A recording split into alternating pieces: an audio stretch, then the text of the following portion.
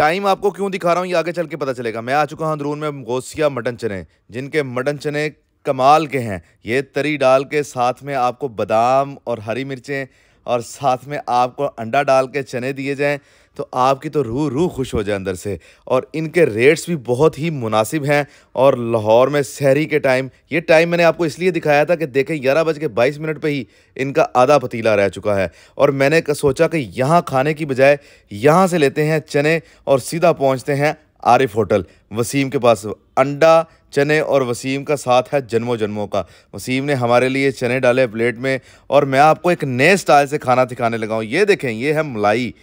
जो आपको रोटी तोड़नी है, साथ में मलाई के साथ लगानी है और फिर चनों के साथ लगा के यकीन कीजिए आपकी रूह रूह खुश हो जाएगी और आप ज़रूर ब ज़रूर कहेंगे, पाजी, स्वाद आ गया है, स्वाद आ गया है, सोनिया।